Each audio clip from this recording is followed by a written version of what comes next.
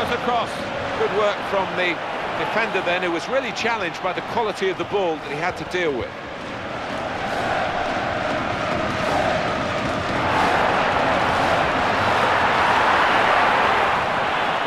This is the chance, and the shot's on, and such quality in the build-up, and a brilliant finish, a wonderful goal.